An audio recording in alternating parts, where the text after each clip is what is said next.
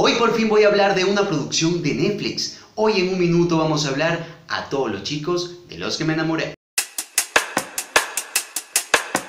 The letters are out. Lara James, interpretada por Lana Condor, es una adolescente bastante romántica que irónicamente nunca ha experimentado el amor. Solamente se ha enamorado sola cinco veces y por miedo a expresar sus sentimientos escribe cinco cartas para estos cinco amores es que estas cinco cartas llegan a las manos de estos chicos. Una historia fresca, entretenida y con una personalidad muy genuina y atrapante. La actuación de Lana Condor es magnífica, es estupenda, te crees, el personaje es Lara Jane. Por cierto, les gustaría que hable más también de películas de Netflix. Déjenme sus comentarios acá debajo de este video y por cierto, para finalizarlo, mi puntuación para esta película es de un 7.8.